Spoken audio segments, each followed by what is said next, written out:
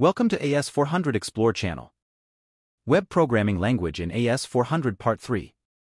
AS400 and Salesforce First Session. This is presented by Gajapathy Pathy. API Integration.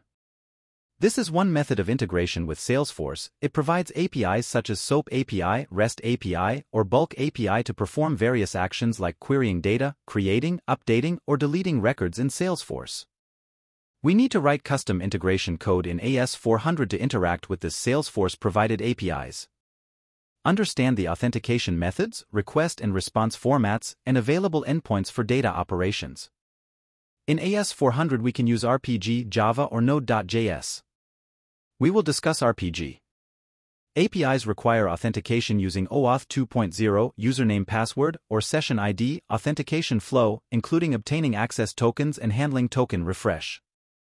For username password, securely store Salesforce credentials and include them in API requests.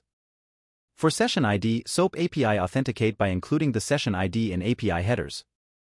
We will see the code on perform a GET request to a Salesforce REST API endpoint and will go in detail in this code. Go through the code and post if you have any question.